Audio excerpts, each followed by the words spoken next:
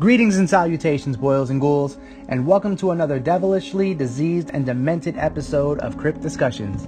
This is your favorite Tales Fear leader of the spine tingling anthology, Jonathan, and today I would like to discuss season 8 of Tales from the Crypt. That's right, Gorehounds. There was, in fact, an eighth season of Tales that was meant to happen after season 7 and Bordello Blood were released.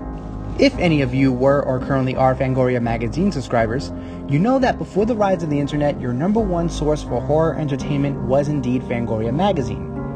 Over many years and issues, the central hub for horror content has covered numerous articles on Tales and its seasons, providing fans of the series behind the screens information on the show's production and its episodes. In issue number 152, dated May 1996, the article created for Tales Season 7 confirmed that there was indeed an 8th season being prepped. However, they were still just trying to figure out how they wanted to tackle the project.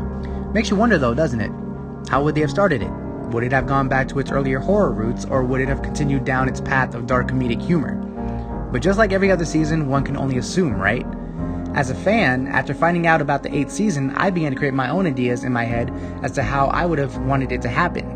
A while back, I had a discussion with my good friend Ian, also known as Cryptkeeper1225, on Twitter, where I expressed to him how I felt season 8 should have happened. Now, going back to the seventh and final season of Tales, the Crypt Keeper starts Fatal Caper by going on a vacation to London, England, inviting us to check out his English Scaritage. Fun hack when the Crypt Keeper mentions his English Scaritage, he is actually making a reference to the 1972 Amicus version of Tales from the Crypt. Utilizing this, the first episode of season 8 wouldn't open like a traditional episode where we get the Crypt Keeper's usual opening segment. The episode could start with a group of notorious gang members or bikers who find an abandoned house to evade and hide from the authorities after committing a robbery. As they find the refuge they need, over time, each one of them is being killed by uniquely created booby traps that were set within the house. As each one of them is killed, surviving members start suspecting each other and begin to kill off one another in order to survive and keep the cash that they stole. The episode begins to come to a close when the last surviving gang member begins to exit the house, but as he navigates through the hallways in the main hall, we begin to start seeing some familiar looking interior decor. But when he opens the front door, he is immediately struck in the face by a rigged axe set above it, dying instantaneously. While the open door creaks wildly and slams, there is actually a dark and small hooded figure standing in front of the doorway. And as we see the bony feet of the cloaked cadaver casually walking past, humming our favorite Tales tune with a suitcase in hand, he begins to survey his surroundings, examining all the corpses.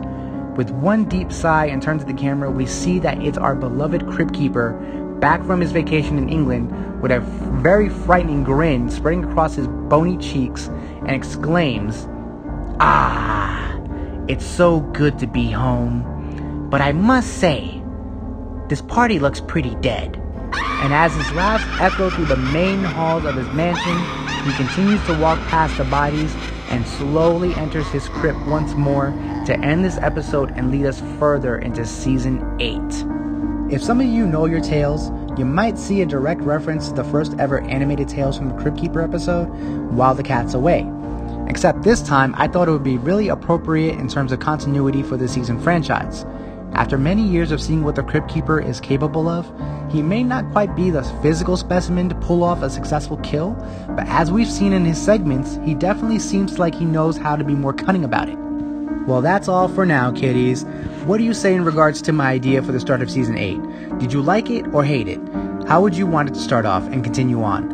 Let me know what your rotting minds have contemplated deep in the catacombs of the comment section. If you like this video, don't forget to mash the like button to pieces, subscribe and hit that notification button to get your latest Dead Time stories only on CryptTube. Have a good fright and pleasant screams.